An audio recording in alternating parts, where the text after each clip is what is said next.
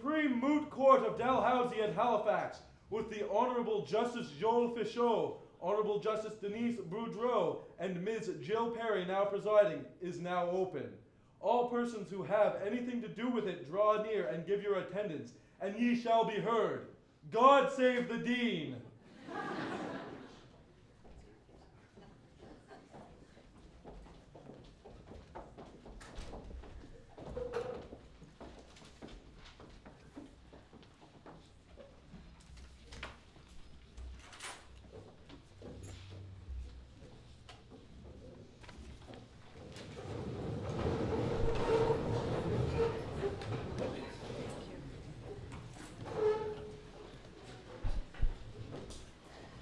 Good evening, everyone, and uh, welcome to this very exciting event.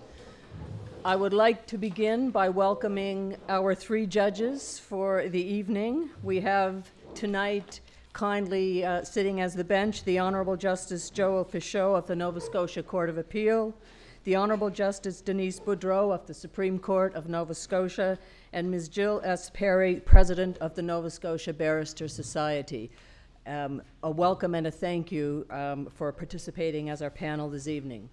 I also want to um, welcome and uh, wish the best of luck to our competitors uh, for this evening, perhaps I should say participants, James Boyle, Emily Hansen, Lauren Soubolsky, and Kathryn Piché.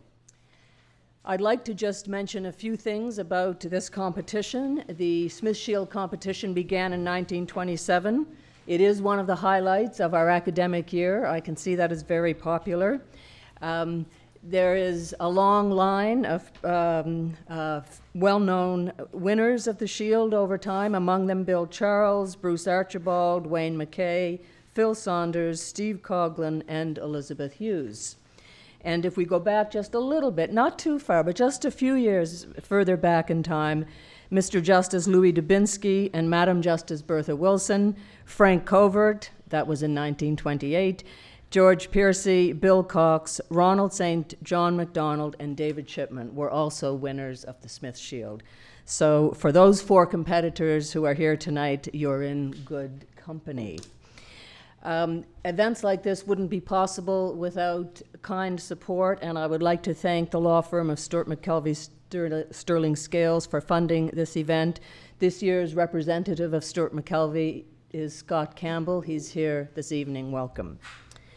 I'd like to thank Professor Chuter for preparing the problem and Associate Dean Deturbide and his assistant Tatiana for organizing the event. A lot of organizing goes into these things, and without the work of people like that, it would not be possible um, to have these events.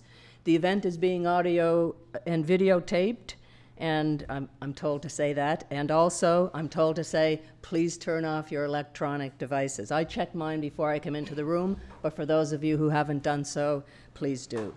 Um, I'd just like to say one thing, and this is a special comment to the four participants.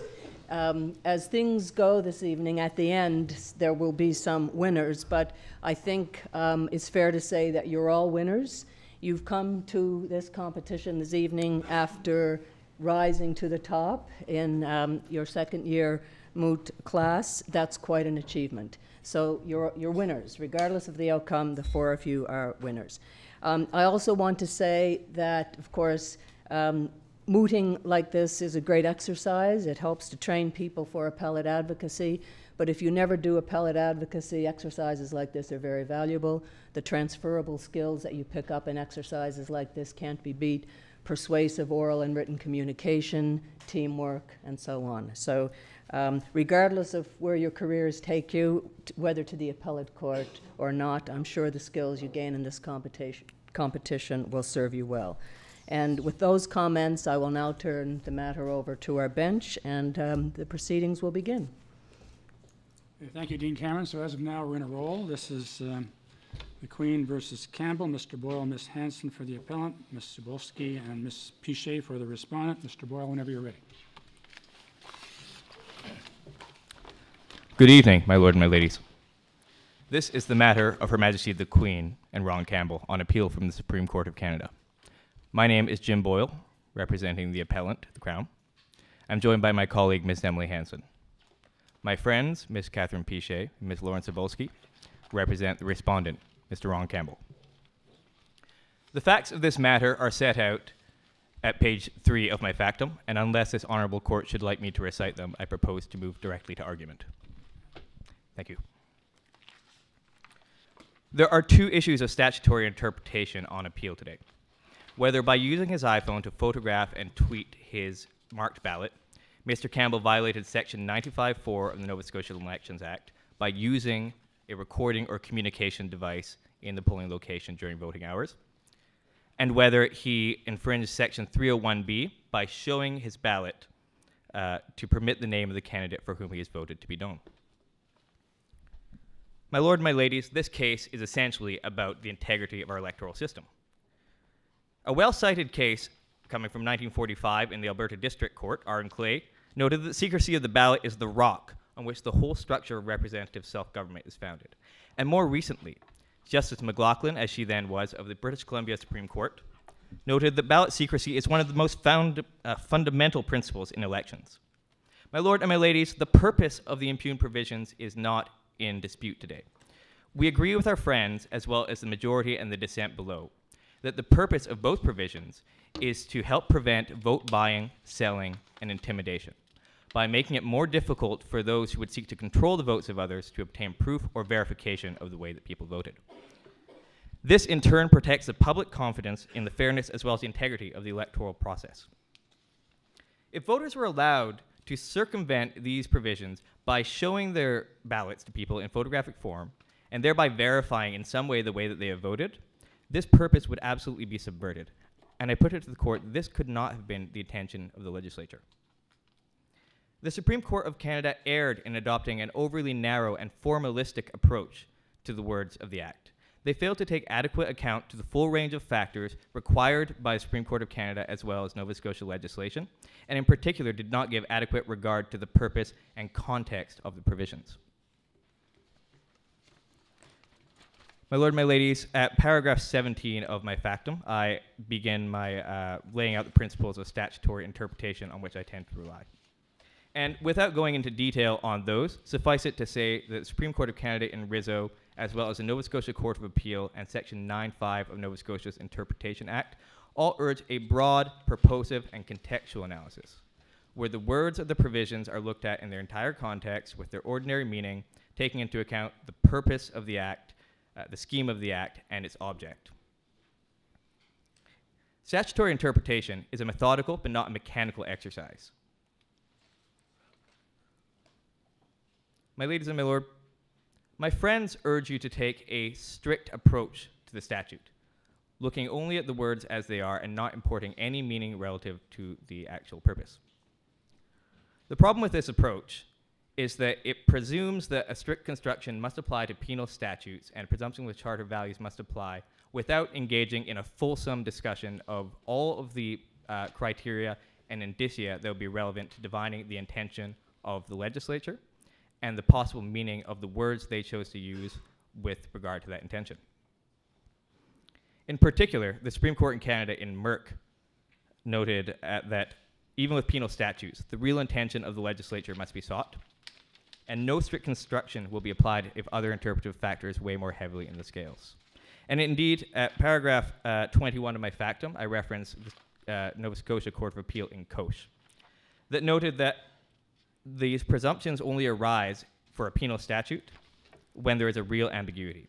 A real ambiguity arises only when two things are present. One, the words of the provision are reasonably capable of more than one meaning, which is the case here, my lord and my ladies. But also when each of the meanings is equally in accordance with the intentions of the statute and the purpose of the act in its entire context. My ladies and my lord, I suggest that in the entire context, Given that the purpose of the Act is to uphold the integrity of the electoral system by making it more difficult for people to engage in these kinds of corrupt practices, it would be fundamentally inconsistent with that purpose to adopt an interpretation that allows individuals to circumvent the Act, to effectively show their ballot, or what the Supreme Court of Canada in dissent below called the functional equivalent of showing your ballot. My lord and ladies, because policy concerns are so important to the resolution of this issue generally, I propose to begin my analysis with section 301B of the statute, which is at paragraph 46 of my factum.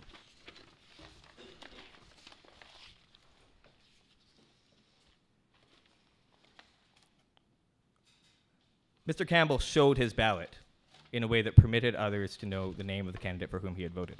I do not dispute with my friends that the word ballot, as used in the provisions and indeed as defined in the Act, refers to the ballot itself. It refers to Mr. Campbell's actual ballot. However, in its larger context, the word show should not be taken to mean that it can only refer to the physical ballot itself. The word show has larger import. For example, Oxford English Dictionary says show can mean to cause or allowed to be seen or looked at. Ordinary meanings of the word show suggest that you can show somebody something by photographic means without actually having to take them to the physical object itself. For example, if we were discussing children, and you were to say to me, Let me show you my children reaching for your pocket, I would not be surprised when you pull out a photograph of your children and not children themselves. Quite the opposite, let's admit.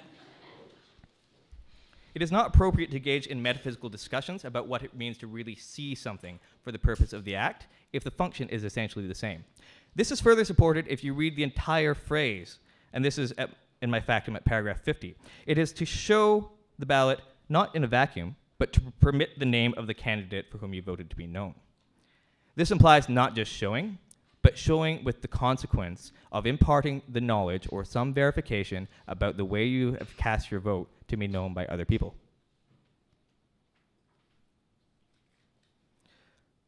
My lord, my ladies, my friends have submitted at this juncture that there is a fundamental difference to the extent that showing in this context requires some degree of proof, and that in the context of Mr. Campbell tweeting his ballot, there is inadequate proof. My ladies and my lord, I, uh, I suggest that this undermines or undervalues the extent to which providing any photographic evidence is substantially more proof than the word of mouth that is the um, interpretation that I propose the court adopts today. The legislature very carefully chose to limit the expression as to how you voted to simply stating how you voted. They have deliberately taken precautions under 301B to make it such that you cannot show anybody with any degree of proof or verification the way that you have voted. This is further reinforced by the entire context of the provision. My lord and ladies, you might notice that the subheading of section 301B is breach of ballot secrecy, which accords with other sections of the Act which discuss ballot secrecy, in particular section 114 and 124. The principle of ballot secrecy is one that is firmly established in Canada's democratic tradition. The Saskatchewan Court of Appeal described ballot, uh, ballot secrecy as paramount in Borrowman, cited at paragraph 58 of my factum. And in an 1888 Supreme Court of Canada case, which has not been overturned and continues to be cited, Walsh and Montague, cited at paragraph 57 of my factum, the Supreme Court of Canada held that ballot secrecy is an absolute rule of public policy and cannot be waived. This was in a context where an individual voter wanted to voluntarily disclose the way that he had voted in legal proceedings concerning the um, viability of electoral results, where there were, was a challenge made to the legitimacy of the electoral results. Even in the case where that person wanted to reveal his vote, the court said that is not allowed. They have set a very high standard for ballot secrecy. This accords even with the ordinary meaning of the word secret. The Oxford English Dictionary suggests secret means kept from knowledge or observation, hidden, concealed, kept from public knowledge. It would be inconsistent with the tradition of secret ballot in Canada, as well as the plain meaning of the words to suggest that somebody could breach the ballot secrecy voluntarily and yet at the maintain uphold the principle it represents.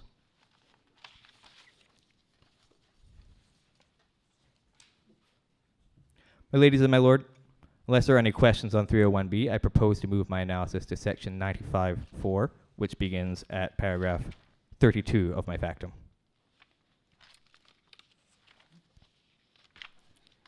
As a preliminary matter, I will note that the section requires somebody to use either a recording or communication device.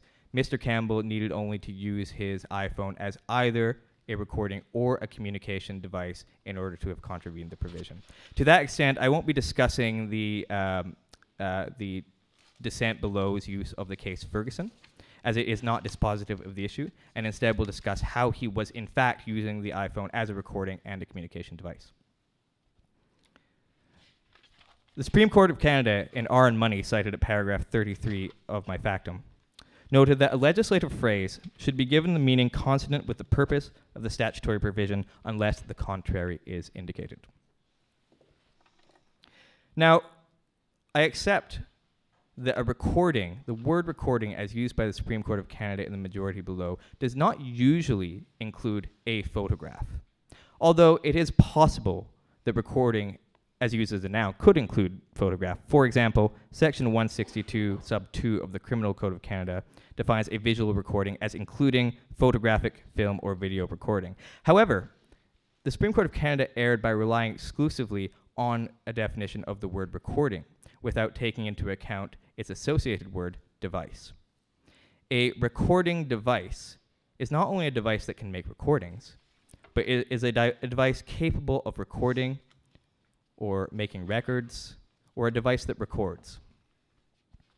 Recording as a verb, as defined in the Oxford English Dictionary, includes to put or set down in writing or some other permanent form, to put on record.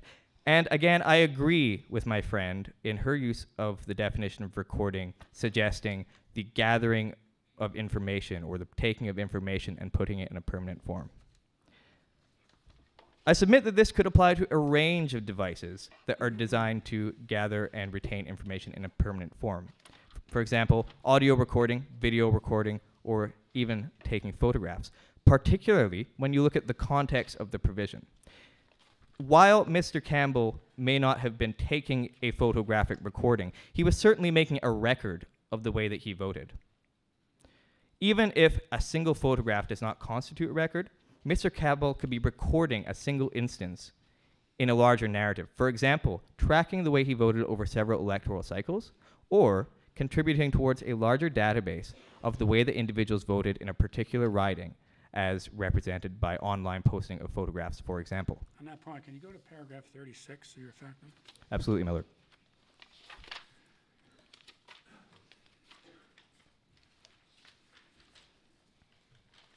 I'm there, my lord. say there, while a single photographic image is not commonly referred to as recording, and so on, uh, skipping a little bit, and later in the sentence you say, the use of the word recording modifies the word device. In other words, the section prohibits the use of a de- device that is capable of recording, or in a narrow sense, the use of the recording capability of that device.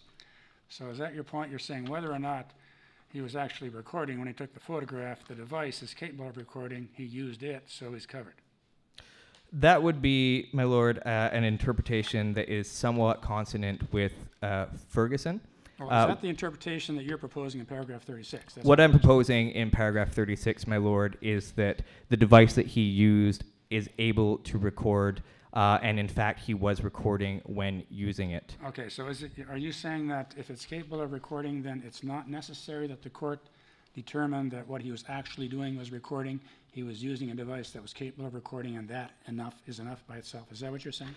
Uh, my lord, that would be the argument that was stemming from the dissent below from Ferguson. And while I gr- agree in principle with the application of Ferguson to this case, I do not believe that it is dispositive. And even if the court does not accept Okay, but I, I don't want you to get to your alternative, I just want you to answer my question. Is, are you asking this court to accept that argument or not?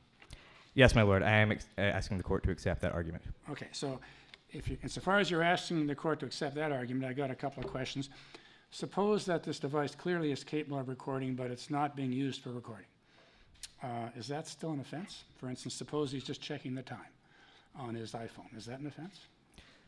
My lord, the principle as laid out in Ferguson and uh, McDonald as well suggests that the use of a device that can be classified in such a way will only be an offense to the extent that that use of the device infringes on its purpose.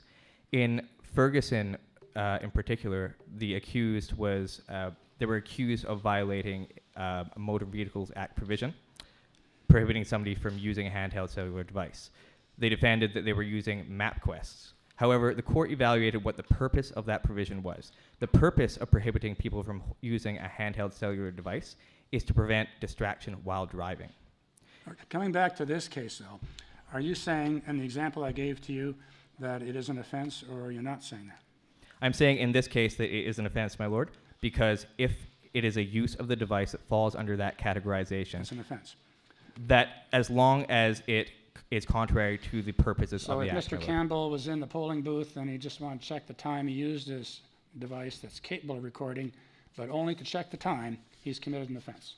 My lord, I would suggest that he was probably not committing the offense with regards to recording device, but most certainly with, with regards to communication device By checking the time. by checking the time. Okay.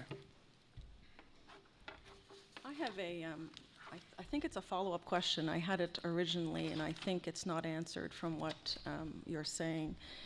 You had said earlier in your discussion about section three oh one, that that section talks about ballot secrecy?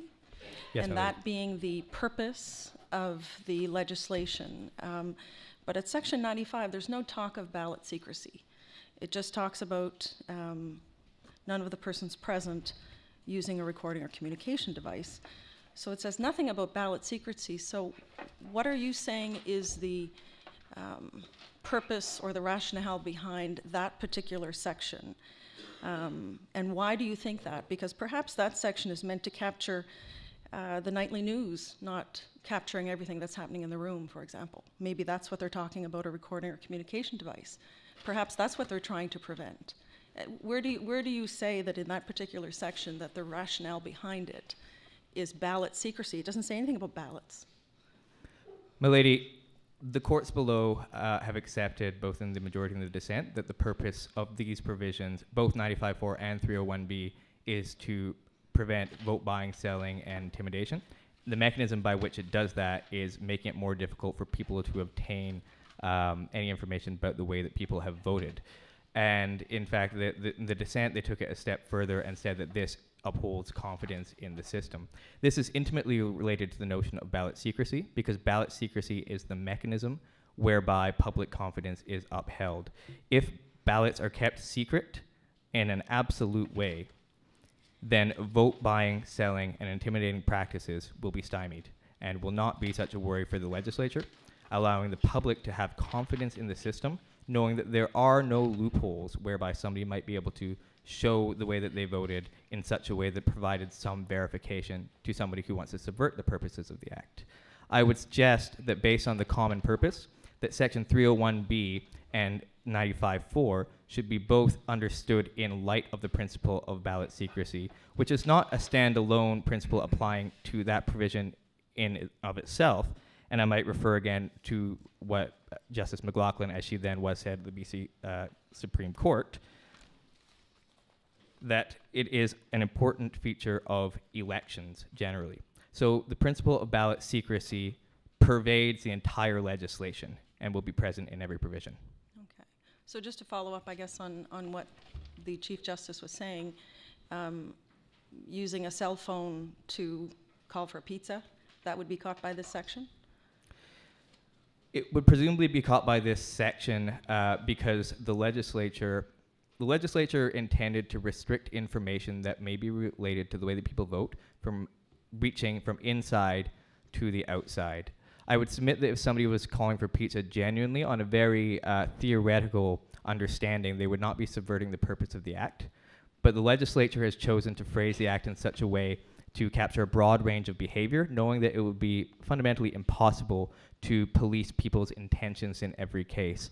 If somebody is calling to order for pizza, it could very easily be code for something else. The legislature wasn't concerned with that. They were concerned with upholding this principle. Time can be code for something else? Pardon me? Is there some way that checking the time can be code for something else? It certainly could, uh, my lord. Give me an example. Well, oh, pardon me. Uh, I may have misunderstood. Uh, you Well, checking you the said time. checking the time in the polling booth would be an offense. So I'm trying to connect that to the purpose of the legislation. It would be uh, it would be an offense in that it uh, violates the plain use. The actual use in and of itself is difficult to police. Well, it's either an offense or not. It's either a guilty verdict or it's a not guilty verdict, and I take it from what you answered before there to be a guilty verdict. So what's the connection between checking the, the time in a phone, in a ballot booth to the purpose of the legislation? My lord, I will try and answer your question quickly to the best of my ability because uh, we are are out Sure. of time. What I would suggest is that the purpose is not actively being subverted. However, the legislature has chosen to phrase the words broadly in order to capture activity that uh, they cannot police. For example, the amendments to the Act have banned any electric devices whatsoever. That is because it is very difficult for the people who are operating the electoral area to determine whether somebody is checking their phone or communicating outside. And with that in mind, to ensure that the elections are not invalidated or have any suspicions cast on them retrospectively, the legislature has chosen to limit the use in broad terms of anything that could be used to violate the purpose of these provisions. to the overbreadth issue that your colleague will discuss later. Exactly, my lord. Okay, so your colleague no doubt will be able to answer some questions about the point I just put to you. Thank you very much, my lord, my ladies. Thank you. My colleague Emily Hansen will now rise to discuss the issue of Section 1. Thank you, Ms. Hansen.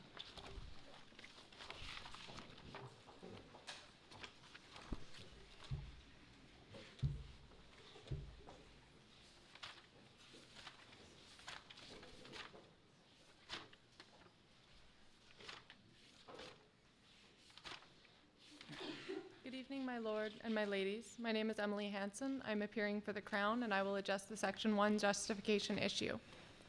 The question before the court is, in its most basic terms, whether Nova Scotia will retain the secret ballot. If this court upholds the Supreme Court of Canada decision, Nova Scotia will no longer have a secret ballot, will no longer satisfy one of the basic requirements for democracy, and will fall offside Canada's international obligations.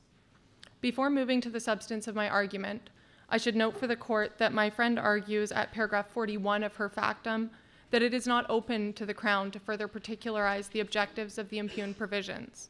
For my part, I notice that my friend has sought at paragraph 43 to overturn an uncontested finding of the court below without bringing a cross appeal. I endeavored to research these points, but was unable to locate a recent version of the rules of practice governing this court. As the Supreme Court of Dalhousie is the highest court in this land, it is my submission that the court can and should avoid getting bogged down in these matters and focus on the merits of the appeal. I will address first the type of evidence the Crown needed to bring forward to satisfy its burden of proof, second, the proportionality of salutary and deleterious effects, and third, the mentally impairing nature of the impugned provisions. Turning first to the type of evidence required. Simply put, traditional social science evidence was not required. The manner in which the Crown can satisfy the balance of probabilities standard varies with the context. Thomson newspapers outlined four contextual factors to assess the appropriate type of proof required of the Crown. You have seen my analysis of the four factors in my factum at paragraph 66 to 75, and I do not propose to repeat that analysis except to highlight the two most important factors. On the first factor, the nature of the harm and inability to measure it, which begins in my factum at paragraph 69. Bryan has recognized that some objectives are by their nature so fundamental that traditional evidence is either so impractical or impossible to obtain that it is not required. The objective of the impugned provisions is to maintain the integrity of the Nova Scotia electoral process and public perceptions thereof. To maintain means to preserve the status quo, as opposed to stamp out a rampant problem. This was recognized at the pressing and substantial objective stage by the court below, and it is almost perverse to then turn around at the proportionality stage and demand proof of a problem requiring eradication. My friend says that the cases recognizing such evidentiary difficulties are simply too different to apply to this case. I disagree. In particular, I would draw the court's attention to Bryan, which dealt with a prohibition on transmitting election results from one riding to another where the polls are still open. In particular, that prohibition had been in place since 1938, so to determine the effect of removing that ban or the effect of having it was virtually impossible. This is effectively the same problem that we face in this case. Ballot secrecy in one form or another has been in place in Canada since 1874. Justice Bastarache, for the majority in Bryan, said that the contextual factors determine to what extent the Section 1 case will, and I quote, rightly consist of approximations and extrapolations.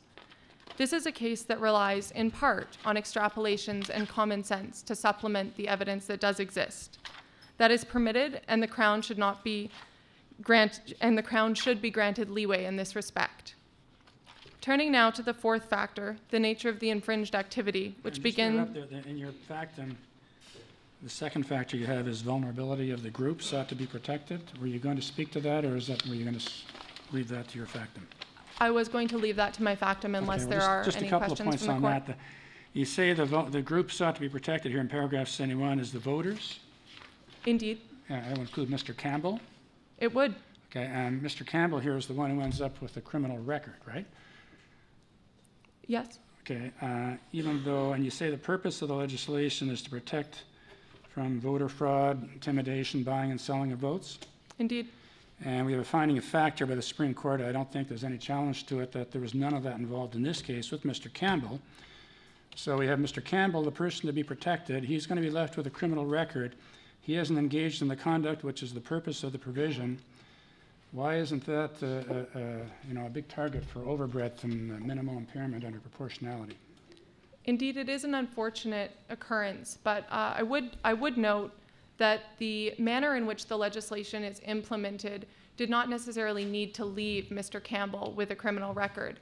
The chief electoral officer first offered Mr. Campbell a compliance agreement, likely in recognition that Mr. Campbell's conduct was simply not the conduct that the legislation is directed at. Well, that's like, you know, the Crown offering the accused a chance to, to plea bargain. If the accused thinks I'm not guilty, then is he, is he required to accept the plea bargain and plead guilty to something when he thinks he didn't do anything wrong?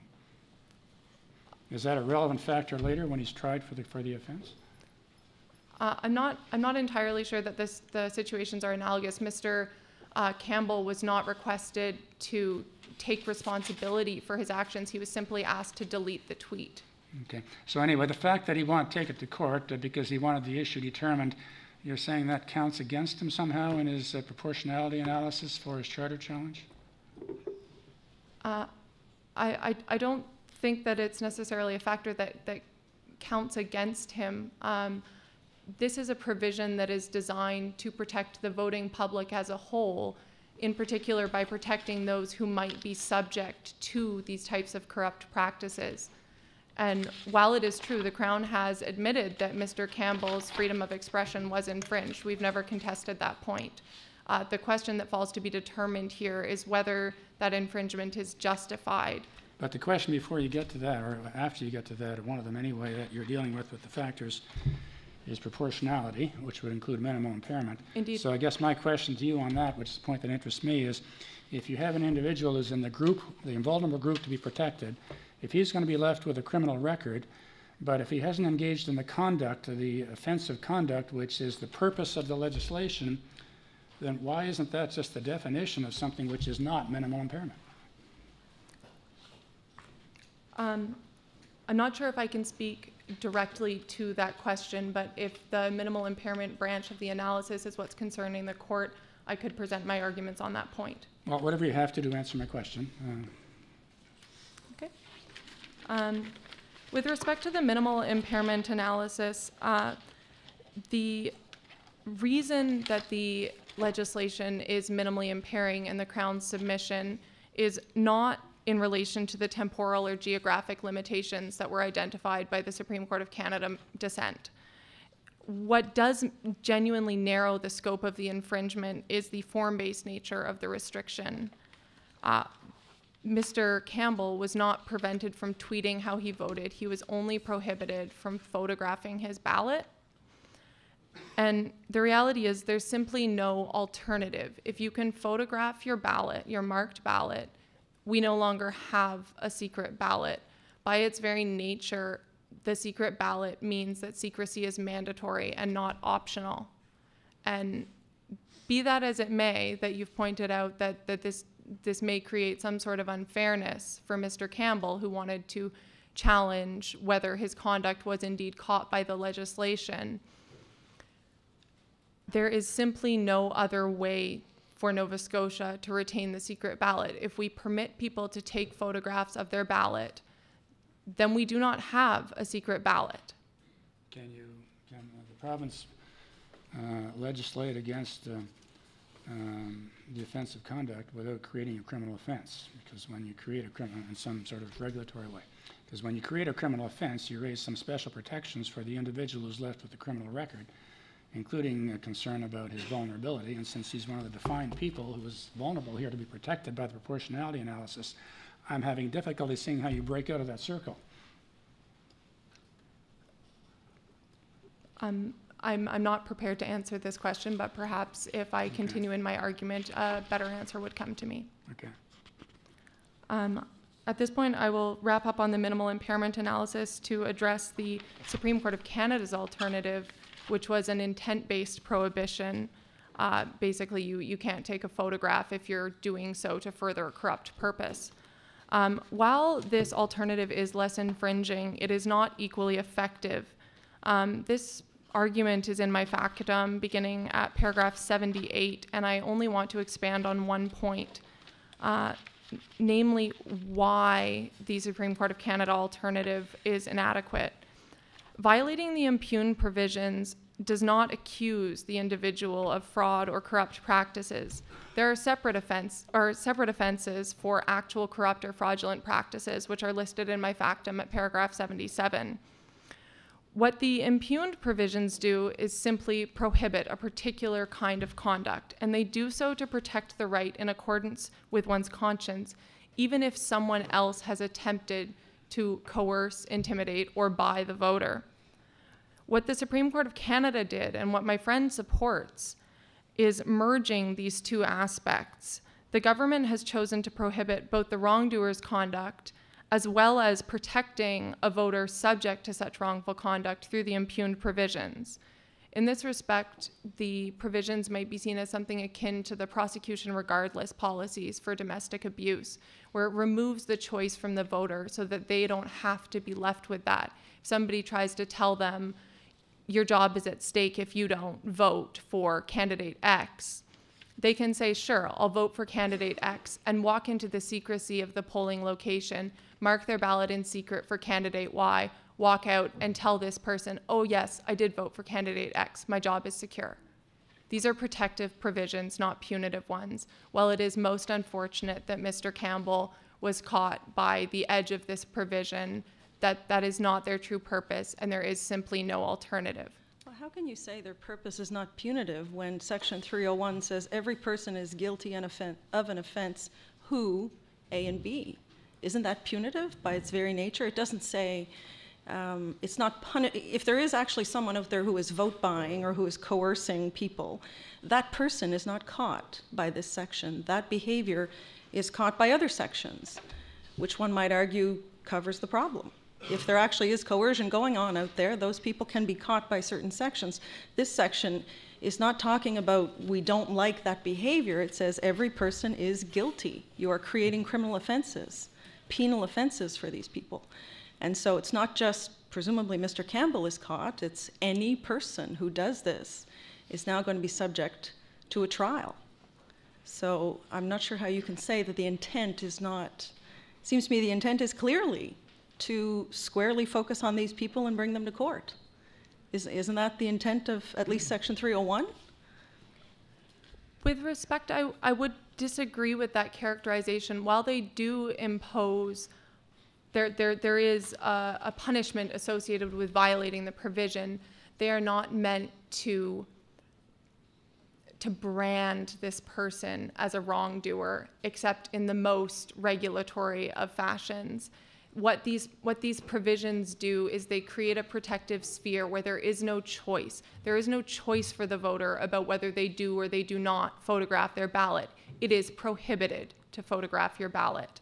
By doing so, they, they protect the polling location and the secrecy of the ballot, and thereby they ensure that people who have been subject beforehand to intimidating practices, to people trying to buy their vote, to people telling them how to vote, to people saying, you know, your position in the union is really at stake here if you don't vote for candidate X. These people can take those pressures, unfortunate as they are, but they can vote as they choose freely and in accordance with their conscience.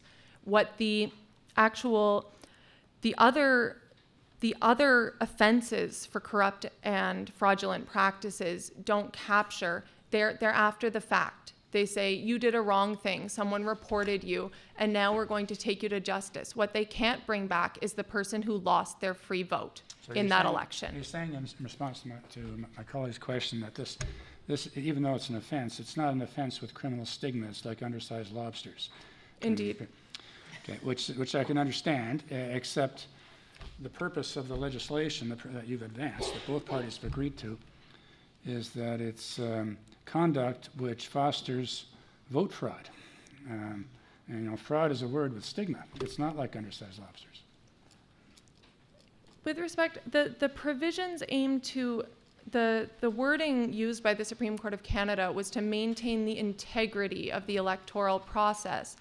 And what the Supreme Court of Canada particularized as things that could potentially undermine that integrity were practices like vote buying, intimidation, coercion, these sorts of fraudulent practices. However, that is not to say that the prohibition which prevents those practices should be branded in the same way. I have a question on another line. So your argument hinges quite strongly on the importance of secret ballot and this particular version of voting in person in a polling station with a ballot in front of you, no photograph, no communication device. How do you reconcile that with the fact that Elections Canada does allow for voting um, in other manners, um, in exceptional circumstances? In a, so not the pure physical presence in a polling station with a physical ballot.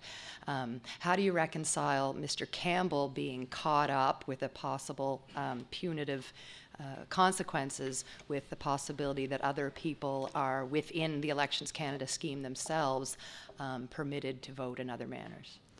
Indeed, I, I assume that you, you mean primarily vote, voting by mail, by Yes, special ballot.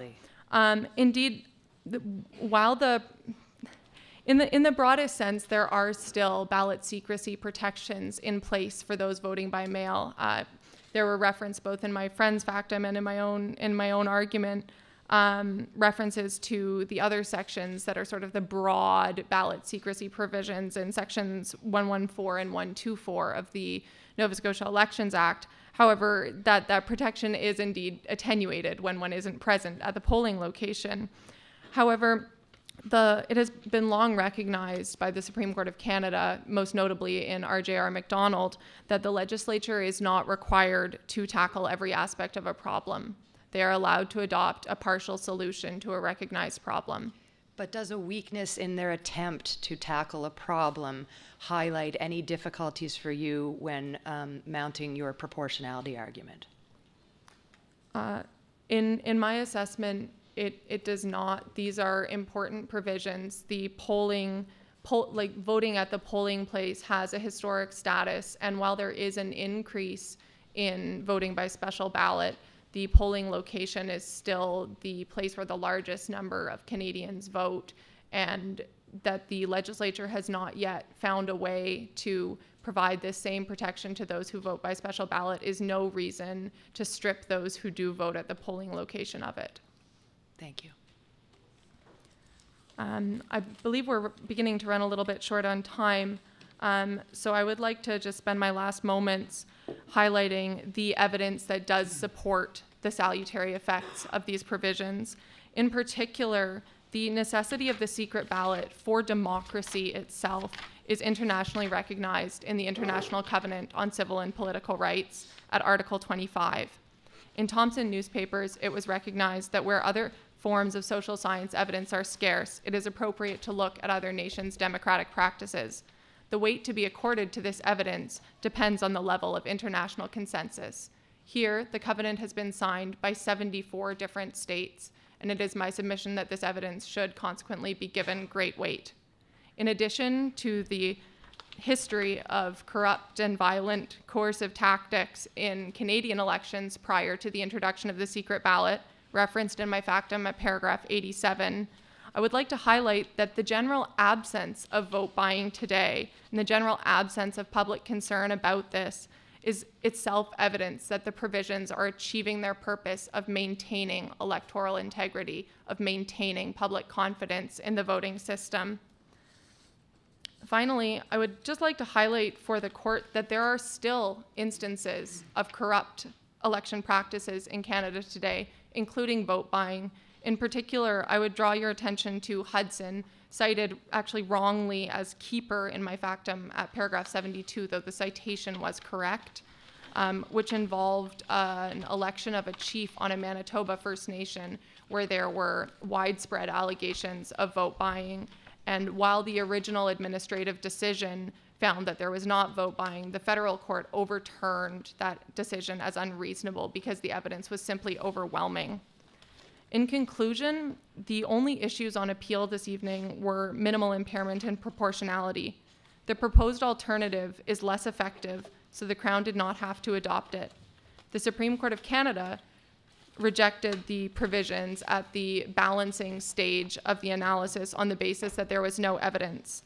I have shown that international instruments, Canadian history, and modern experience provide sufficient evidence to meet the Crown burden on proportionality. The question for the court this evening is whether Nova Scotia will retain the secret ballot and remain a true democracy. Thank you. So, Ms. Soubolsky,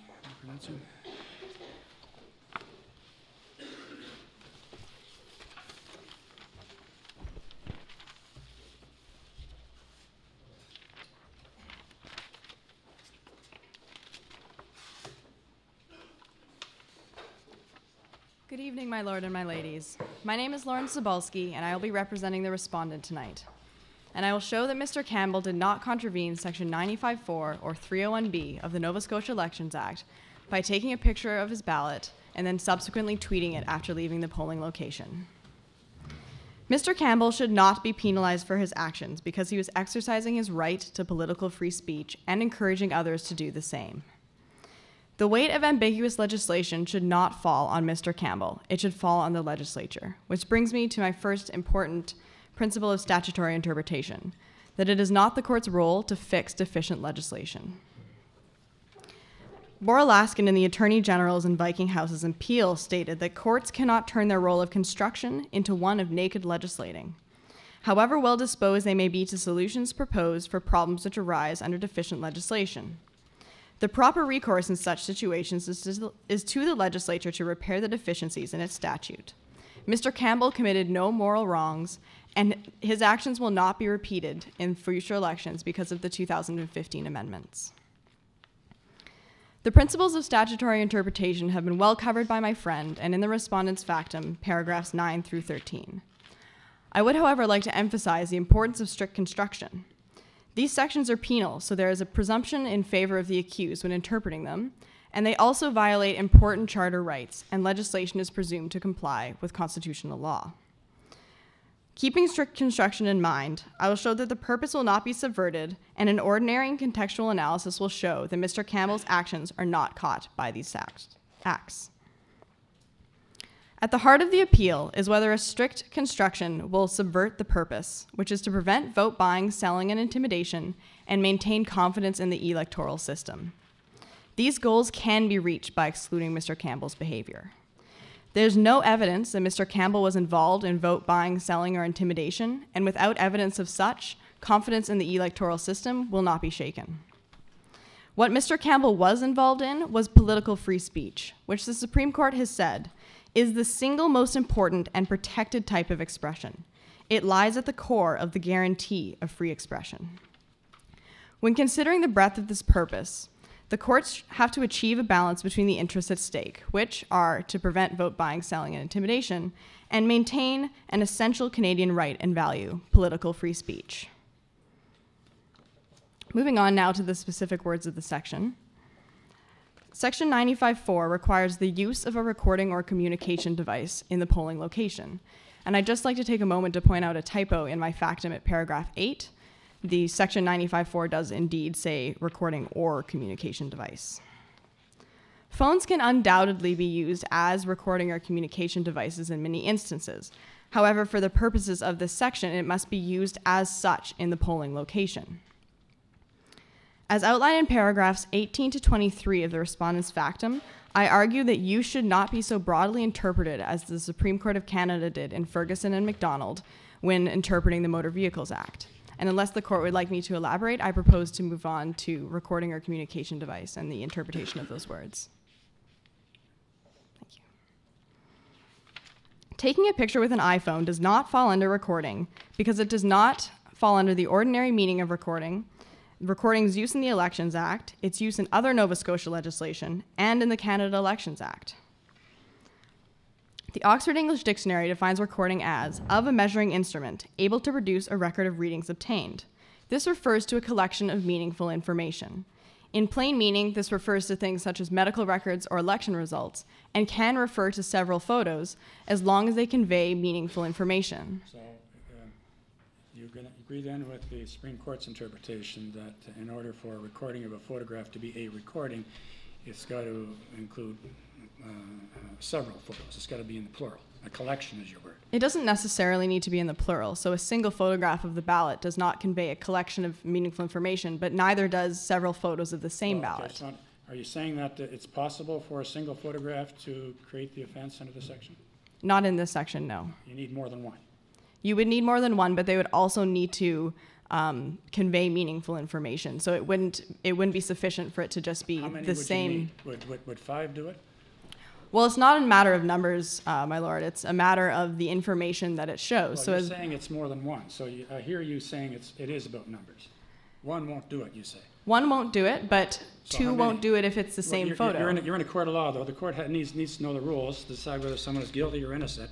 So is it just some vague thing? The number changes depending what the judge feels like in each case? Or is there some number that you say constitutes a photograph as a recording? It's not so much the number as what the information it is that it Okay, conveys. So so suppose there's one photograph that conveys meaning. Is that an offense? it does not convey a collection of meaningful information, so, you it have would to not more than one that convey meaning. As long as it conveys meaningful information. So But as one I won't do it. It has to be more than one. one will not do it. Okay, and you won't tell me how many. No, because it depends on the amount, or not the amount, sorry, the meaningful information that it portrays. So So, if, if there's two photographs with a whole lot of meaning, would that be enough? if, say, the photographs were of subsequent elections, then that would convey meaningful information. But if they were of the same ballot, that conveys no collection of meaningful So information. two photographs with a whole lot of meaning might, might do it. Even if the court does not accept No, that I just want you recording. to answer my question. Uh, uh, Are you asking this court to come up with a decision that says, uh, recording in this section as a matter of law means more than one? If so, what are you asking this court to say is the rule? I'm asking this court to say that it is more than one as long as that multiple or those multiple images convey meaningful Okay, information. Now, so, in this for case, it example, conveyed the meaning that, according to the tweet, it conveyed the meaning that this is how I voted. Is that not meaning? it's not a collection of meaningful information to fall under recording. Because it's not, it's, it's more than, it's not more than one. It is not more than one, correct. Okay, thanks. So even if the court does not accept my argument on plain meaning, um, the rest of the Elections Act uses recording and record consistently with this definition throughout the entire act. For example, section 250, sorry, 235.2 states that the information recorded by an official agent or financial agent under subsection 1 must be recorded in a single ledger. Paragraph 26 has other examples of uh, sections in the Elections Act that similarly refer to recording and record. The legislature is also assumed to be consistent with itself. Therefore, it is significant that there are several other Nova Scotia statutes that differentiate photography from recording, and these can be found at paragraph 27 of the respondent's factum. And finally, the Canada Elections Act, which has the same purpose as the Nova Scotia Elections Act, also differentiates photography from recording in section 136.4. All of these examples show that a photograph does not fall under the meaning of recording under the Act. Similarly, taking a picture with an iPhone is also not caught under the Act, under communication device. The Oxford English Dictionary definition of communication is transmission or exchange of ideas. A single photo is not a transmission or exchange, and since the iPhone was being used as a camera to take a single photo, it was not being used as a communication device. With regards to my friend's single transaction argument, where how could you have tweeted the photo without first have taken the picture? This would actually lead to an absurd consequence. This would lead to a consequence where a person would be able to take in a simple camera without internet capabilities or uh, even a film camera, take it into the ballot box with them, um, take a picture of their ballot, go home and develop it or upload it onto the internet, and then tweet it to their followers and not be in contravention of the act. When similar situations are treated differently, this leads to an absurd consequence, which is against the principles of statutory interpretation. Suppose that this individual took, you know, 20 photos of him moving towards the ballot box with his ballot, dropping it in the box, the last photo being the ballot disappearing into the box. Instead of a movie, which the Supreme Court of Canada said would do it, we have 20 photos sequentially. And it showed meaning, namely, this is how I voted, and the name of the person I voted for is apparent on the early photographs. Would that be enough to constitute the offense? It may be enough to constitute the offense, but that's not the issue that we're faced with in this. Well, it's the issue of my question. It's enough to constitute the, the offense. So I guess my next question is, what's the difference between that and a fewer number of photos which convey the same meaning? Namely, this is how I voted. The way that this definition is used under the Act uh, with recording and record, I think that this would actually fall under that meaning because it does convey meaningful or a series of meaningful information. However, um, the appeal that we're dealing with in this case is only a single photograph posted to Twitter after Mr. Campbell left the polling location.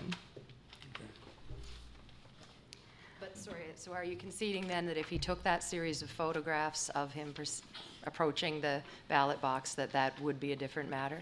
It would be probably fall under recording device, but not communication device because it doesn't have that transmission, transmission or exchange element. Thank you. Moving on to section 301B, which states every person is guilty of an offense who shows a person's ballot to permit the name of the candidate for whom the person has voted to be known. Mr. Campbell's actions are not caught by this statute either because a ballot refers to the physical ballot and showing requires a level of proof that does not include a photograph. The ballot's definition in the Act is a prescribed form used by an elector to vote. This would be nonsensical if it included a photograph, because a photograph cannot be used by an elector to vote. It is similarly inconsistent with the rest of the Act, for example, Section 112, which demands that the ballot be marked, folded, and deposited, and an, a picture of a ballot on an iPhone can do none of those things. Even if the court decides that ballot refers to a picture of the ballot, Mr. Campbell did not show his ballot for the purpose of 301B because showing requires proof and a photograph is not proof. I'm sorry, I don't understand what you're saying there. A photograph is not proof of what? The way the person voted. Well, neither is the ballot necessarily unless you see it go in the box. I could show someone my ballot and then immediately spoil it. They wouldn't know. So the ballot itself really isn't necessarily proof of how I voted either, um, similarly to a photograph. What's the difference? I think that the mischief that the legislature is trying to avoid in the spoiling the ballot instance would actually be someone who is over your shoulder looking and uh, seeing if you spoil a ballot because the act doesn't contemplate the ballot ever leaving the polling location. So there are other parts of the act that would actually prevent that behavior. Okay, but I guess I'm wondering when you're saying that a photo doesn't prove it, but the ballot does. That's the distinction I'm not getting because I see either of them potentially, I guess, couldn't necessarily prove it unless you saw the person put it in the box, right? Correct. so, in that way, a photograph might not really be much different than a ballot.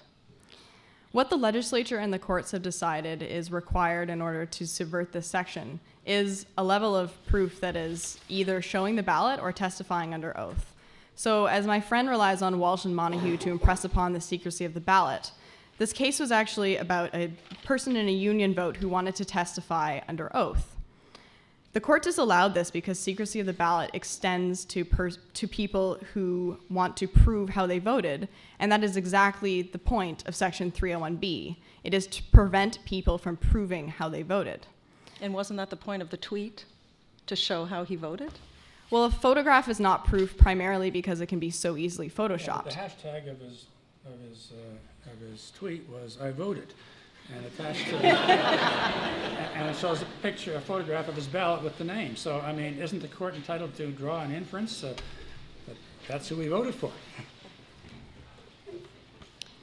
As Walsh and Montague demonstrates, that there is a sort of sliding scale of proof that is required for this show element in um, Section 301B.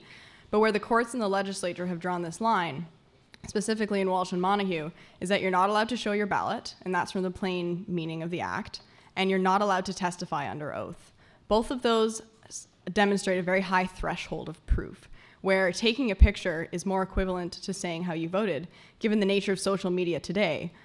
Uh, young people now describe their lives through photographs, and most people in the room have a friend who tweets almost every meal that he eats. And given the nature of social media and how young people describe their lives, tweeting a picture of your ballot is simply an extension of political free speech and saying how you voted. It may be an extension of it, but what I'm troubled by is the suggestion that it is, is and it is we've gotten to a point where using pictures to express your political belief is integral to that that charter protected freedom of political expression. So I'm wondering if you could back that up a little more. With respect to this specific section, I don't think that the level of proof, which is testifying or showing your ballot, is reached by a photo, ma- mainly because it can be photoshopped. And if you consider the other uh, purposes of the act, like preventing vote buying, selling, and intimidation, it would be an easy $100 to uh, just go into the ballot, vote for who you want, and leave and then say you voted for a different candidate. So it also would uh, subvert the purpose of Section 301B in that way as well. And taking a picture is just not uh, equivalent to the amount of proof that the legislature and the courts have decided is required for this section. But you are concerned about the discouraging impact that any, any decision that, that, that limited people's ability to take photos of their ballots as a form of political expression. You see that as a, as a, as a, as a, as trampling of that form of political expression for young people. You, you, that's critical to your argument, is it not? Correct.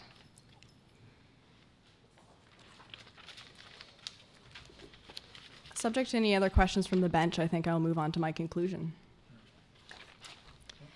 In conclusion, Mr. Campbell's actions did not violate Section 95.4 or 301B of the Nova Scotia Elections Act. Using a strict interpretation and reading their words in their context and ordinary meaning, an appropriate balance is struck when preventing vote buying, selling, and intimidation and maintaining the crucial constitutional right of political free speech.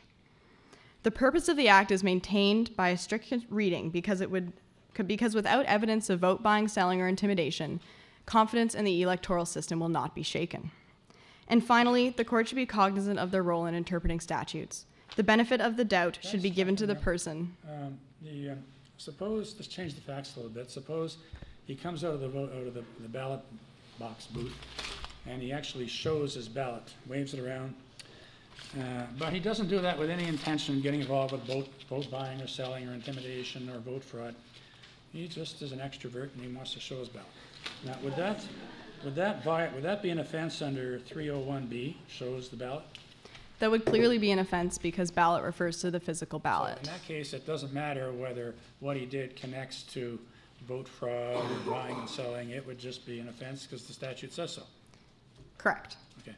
But three oh one A, different approach. There we get it, there we infuse the section with the purpose of preventing vote fraud and buying and selling, and we read that into the wording of three oh one A. Or, sorry, we read that into the, um, the showing the ballot, sorry, we read that into 301B, rather, when we're dealing with the fact situation of a photograph of the ballot, instead of actually showing the ballot.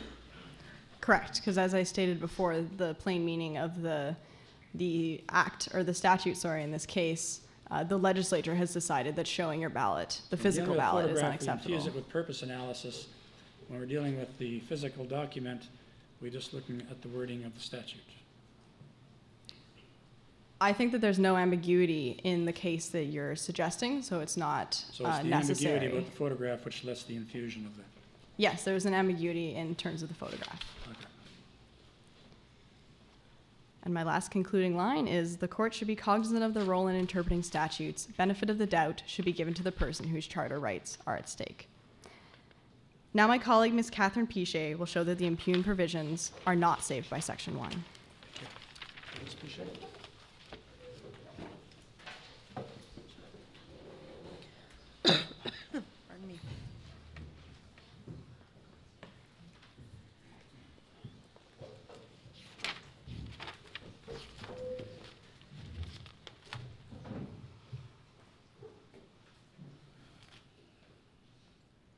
Good evening, my lord and my ladies.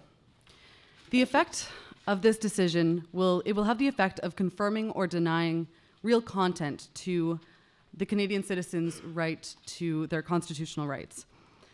This is not about this case is not about the ability to take a photograph at a certain time in a certain place. It's about the evolution of constitutional rights. It's about the denial of the most important aspect of an individual's right to freedom of expression, and that is freedom of political expression. Mr. Campbell was denied this right when he was unable to uh, take a photo of this ballot. Mr. Campbell was denied his ability, uh, he, was, he was denied his ability to be protected um, because of a baseless concern the concern that the government can not back up with one shred of evidence. This is an opportunity for the court to give effect to a modern mechanism that facilitates freedom of expression. Given that the deference factors in this case align well with the various uh, factors in the Oakes test, I will address these as they come up in relation to my arguments. The first argument centers around the lack of evidence of harm in this case. The second is, the is that this legislation is not minimally impairing. And finally, that the salutary effects of this legislation are heavily outweighed by the deleterious ones, and this law should be struck down. Section 1 is about whether or not there is a harm that is calling for protection that is worth the infringement in the case at hand. In this case, there is a complete lack of evidence of harm. Although cell phones have been um, around that have been equipped with cameras for a number of years, the court has failed to identify a single instance of vote buying or voter coercion. Now, your friends would say that that's because 95 and 301 have worked, and um, so how can they possibly produce evidence of harm because 95 and 301 are out there doing their job? So, I mean, what possible evidence could there be of, of the situation if those two sections were not the law? It's, uh, I would submit that it's entirely speculation that it is those provisions that are doing their jobs in this case. Um, I have provided in my factum contrary reasoning uh, that suggests that it may be something entirely different that is responsible for this not being a problem today. Okay, well, I, actually, let me just put to you some of the contrary reasoning. Can you go to paragraph 69 of your factum?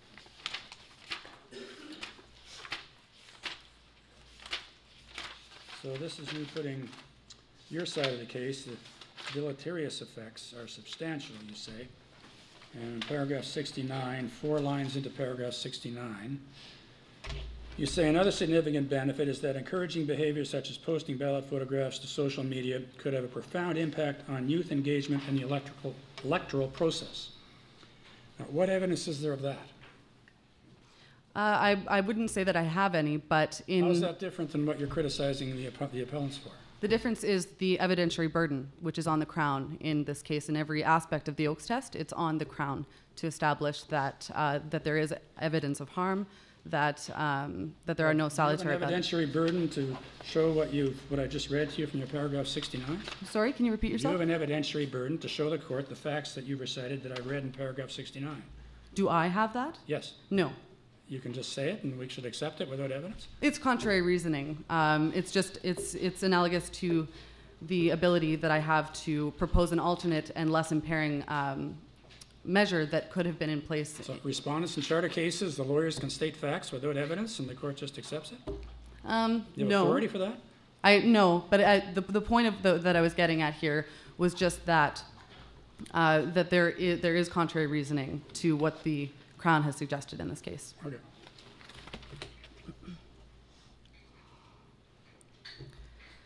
There's a complete lack of evidence of harm in this case, as I was suggesting. We can't allow speculation as a justification for an encroachment on this charter right. As the deference factors have shown, more is required than a reasoned apprehension of harm in this case. As the court in Thomson stated, little deference should be given when the government has not established that a harm is widespread or significant. However, given that there is no evidence uh, suggested in this case, a law cannot stand on any deference standard. The infringement must be shown to be reasonable and demonstrably justified in a free and democratic society. As the court stated in RJR, the word demonstrably is critical. The process is not one of mere intuition, nor is it one of deference to Parliament's choice. An apprehension in this case simply is not reasonable. Reason suggests common sense and logic, and as the court stated in Thomson, common sense reflects common understands- understandings. There is no common understanding that vote buying or coercion is a systemic issue today. The court should not abandon its role of review and let a law stand that has not been justified in any sense of that word. Not only is there a lack of evidence that vote buying or coercion is a serious problem today, but in the context of the changed socioeconomic landscape, um, it suggests that this, this proposition is unlikely. The secret ballot may have been necessary to, co- to combat vote buying and coercion in an era of widespread poverty and uh, power imbalance. It may have even been necessary to trigger the decline in such uh, elector- electorally fraud practices. However, the Stokes article indicates it's more likely that industrialization and economic growth are responsible for the continued suppression of such uh, fraudulent practices. Economic growth has led to a wealthier electorate and, in turn, the economic inefficiency of vote buying. At the very least, like I had, like I had addressed with the bench earlier, this provides contrary reason, reasoning to the provision's necessity to, for the, to counteract the resurgence of vote buying. So, excuse me, your, um, am I understanding you to say that you do not, uh, the appellants have said that the concept of the secret ballot is a fundamental principle um, in Canadian elections and in um, a number of countries around the world, et cetera. So, are you saying the secret ballot is not a fundamental principle in Canadian elections, that it's something that we should not worry about? Not at all. Uh, the secret ballot is integral to our society, but I do put that the ability to take a photograph in a ballot booth does not compromise the secret ballot. Being able to take a photograph of one's own ballot does not compromise the right to the secret ballot. It's a right. It's not. Um, it's not a general thing that needs to be um, that needs to be um, enforced in in all cases. If one decides to take a photograph of their ballot, that does not hinder another's in, another individual's ability to keep their own ballot secret. But It's isn't that very different from suggesting that we don't need to worry because um, secret ballot is, we've got it locked up and there's no problem? I mean, you, when, in response to um, my colleague's question, you, you returned to the fact that the taking of the photo doesn't interfere with it, but my understanding of the question was more that you seem to have been suggesting before this that secret ballot is, you acknowledge it's something important, but you were just going to great lengths to point out the way in which, the ways in which we don't need to worry about it anymore because of changes in our society. I'm more addressing that it is not necessarily the fundamental reason that vote buying and coercion are uh, not a prevalent issue today. Well, can I just get my two bits on this? Can we go to paragraph 50 of your factum, please? And paragraph, uh, top of page 29, second line, you say, "The advent of the secret ballot may have been necessary to prevent vote buying and coercion in an era when poverty and extreme power imbalances were widespread. But the fear of electrical unfairness is simply not relevant today in the same way." Now, is it, is it an assumption of your argument that we have to agree with that in order for you to win? Not at all. Okay, so that's a bit of a throwaway, is it? It's more of, like I said earlier, it's contrary reasoning to, to, to show that we cannot just accept on the government speculation that it is, uh, it is, it is, it is these factors So specifically. you that weren't have led- suggesting that this court should base its decision on the principle that the secret ballot is an anachronism, we don't have to worry anymore because we're not as poor as we used to be. You weren't suggesting that, were you? Not at all. Okay. I apologize if that is how it came across.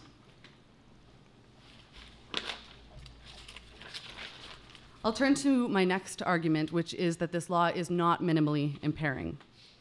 The limitations imposed by this law are far from narrow. This law unnecessarily catches a great deal of innocent behavior, uh, individuals who are simply trying to express themselves politically. It hinders the type of behavior that we should be encouraging in a democratic society.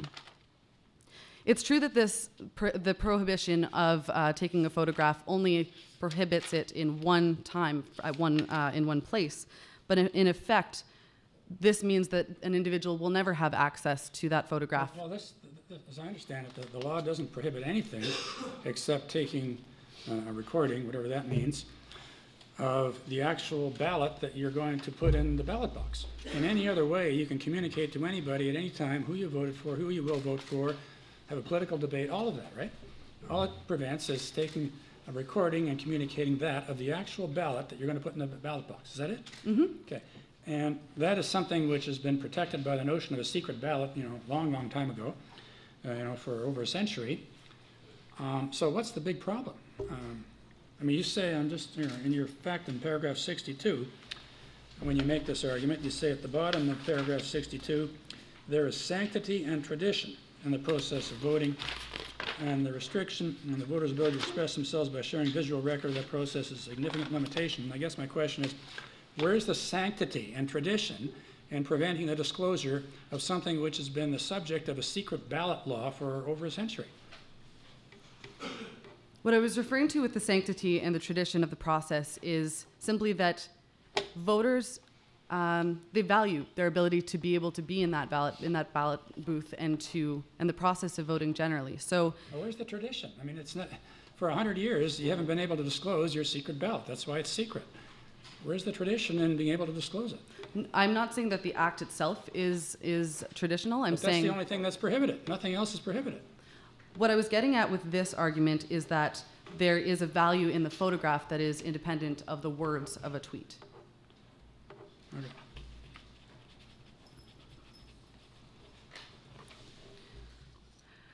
There is an alternative measure that would have been less impairing and no less effective than the current measure that is in place at the moment.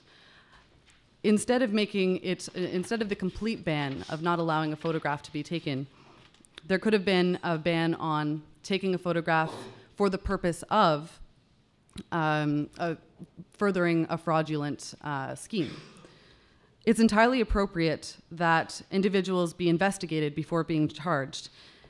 And it, the requirement of having a police officer or the Crown put in additional effort is, uh, is no excuse to not um, enact a less impairing law.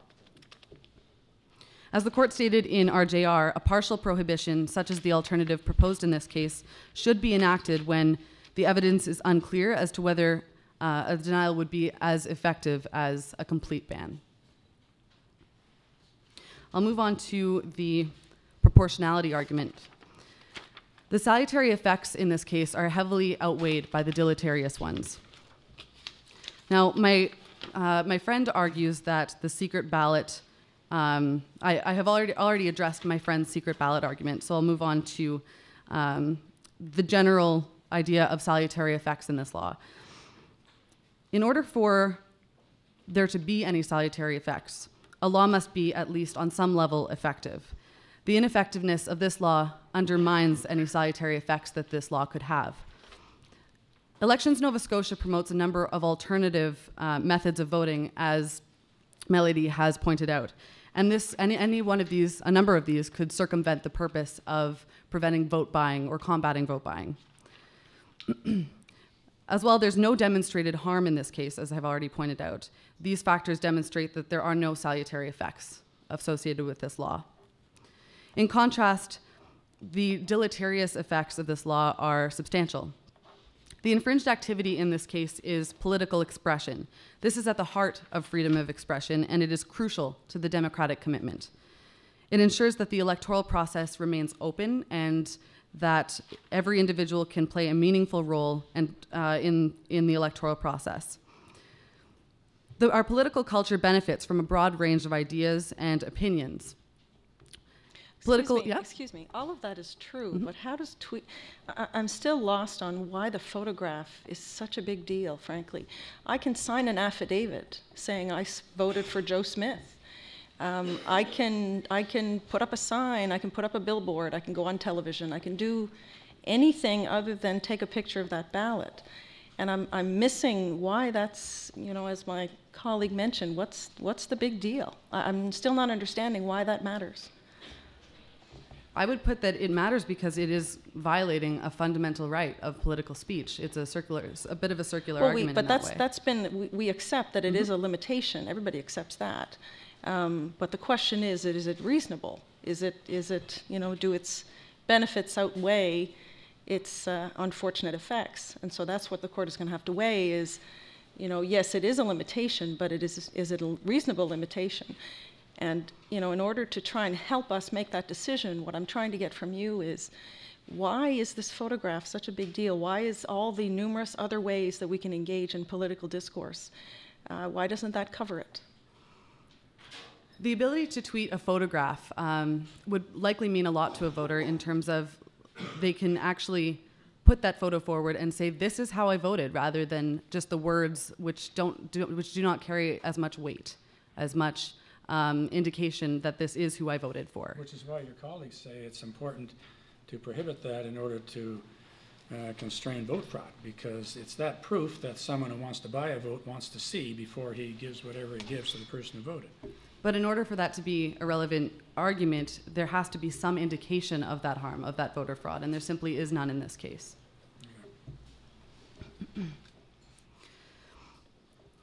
Another, uh, another deleterious effect is the effect on youth engagement in this process. These provisions hinder political speech in the realm of social media, which has a great potential for a profound impact on youth engagement. Youth voter turnout has been expressly identified by the government as an area for needed improvement. Social media appeals to and is heavily used by young Canadians, and sparking political debate in that arena could have a profound impact. The government should be encouraging young voters to celebrate their decision to vote, especially in a way that could encourage others to follow suit. This is a law that has serious, tangible, detrimental effects, all in order to correct an intangible harm. Social media is a revolutionary modern tool for communication, and it has a massive potential to facilitate political speech rights. This court should not hinder progress. It should not maintain a unjustifiable status quo at the expense of a critical charter right. The court should facilitate the evolution of freedom of expression. I ask the court to dismiss this appeal. Before you go there, in your listing of deleterious effects for the proportionality analysis, I hear you, you referred to the political deleterious effects and you referred to youth engagement. Is that it? Are those the main deleterious effects you're asking us to consider? The deleterious effects are, I mentioned, okay, the ones that I've mentioned as well. Engagement, yeah. Mm-hmm. Is there anything else? They're the fundamental ones. I'd say that perception, the, the perception of the average voter, would likely be that this is suppressing the, uh, the political speech of an individual. Okay. I haven't heard you mention as a deleterious effect the fact that your client is being prosecuted criminally for doing this, which has a lot of deleterious effects for him. It's not political, it's not broad, it's not youth engagement, it's Mr. Campbell who's going to have a record. Uh, I haven't seen that in your factum. I didn't hear from, that from you today. Are you asking us to discount that as a deleterious effect? Not at all. Why I, haven't we heard it before now? I felt that these were my stronger arguments. Okay. Thank you. I ask the court to dismiss the appeal. Thank you. Okay, so rebuttal then? Uh, rebuttal from the appellants? Okay. So, Ms. Hansen. Good evening. I wish only to address one point raised by my friend, and that is the contention that the protection of the secret ballot, the protection of the secret ballot uh, in the impugn provisions is simply not needed because the secret ballot is a quote right, and therefore people can choose. Uh, there, there are two fundamental issues here. The first is related to what we've already covered, which is that the secret ballot means that secrecy is mandatory. What we didn't get to is why. And there are two reasons. The first is one recognized by the Supreme Court of Canada in the court below, uh, which is that corrupt individuals who will go so far as to try and buy someone's vote or intimidate a voter will not stop if they can also demand proof. However, the second that was not recognized by the court below is that where a sufficient number of people voluntarily disclose their vote, the remaining votes can be deduced by process of elimination. Thus, while some won't have chosen to disclose their vote, their vote will nevertheless be exposed. The second core problem with characterizing this as, as a choice as opposed to a fundamental protection is that the argument that selling one's vote is elective ignores the fact that where there is a power imbalance between the parties, this can effectively negate one's choice. If one is supporting one's family and one is told that your job is on the line if you don't vote for Stephen Harper, one may indeed vote for Stephen Harper if your job, if your employer can demand proof. That is all. Thank you very much. Okay, thank you. Not going there. Um, So thank you. I guess that's, uh, that's it. So we retire now and we come back shortly. But uh, thank you all.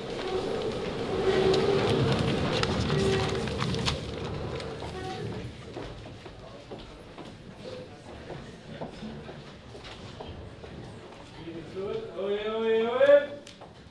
All rise. this sitting of the Supreme Moot Court of Dalhousie is now in a brief adjournment. God save the Dean.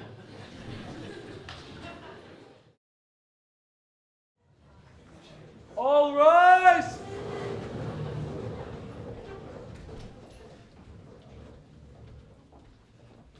Thanks. Sit down.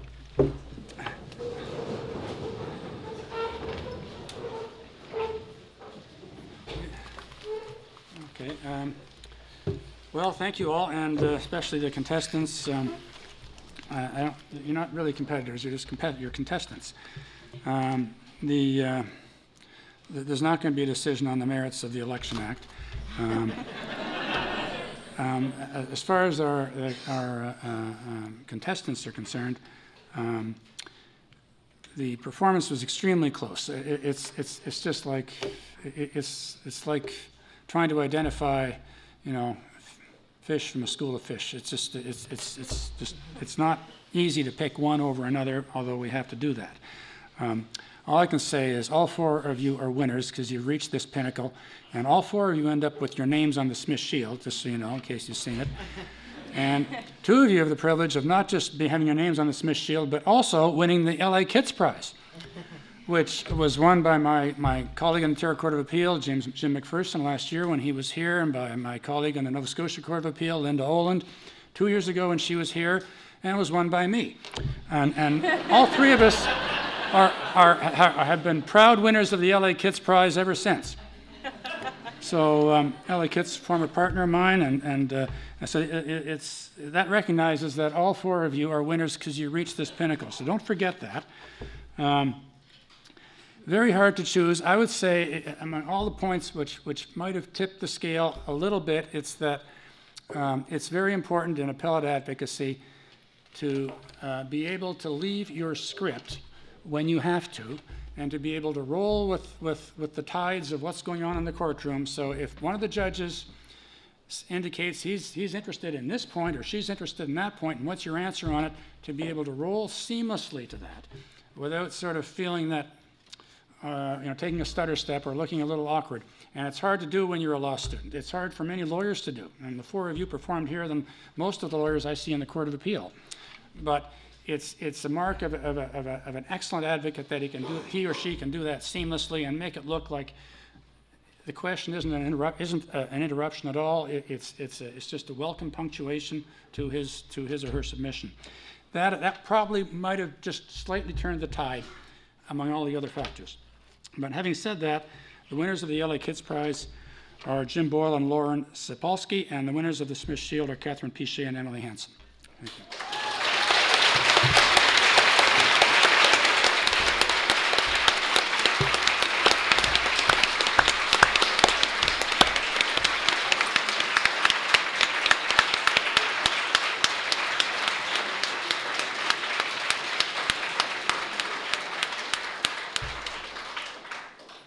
So that's that.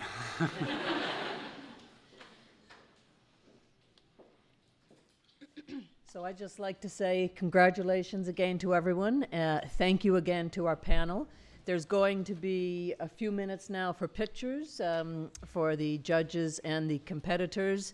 And then we invite you all to a post-moot reception, which will be on the third floor.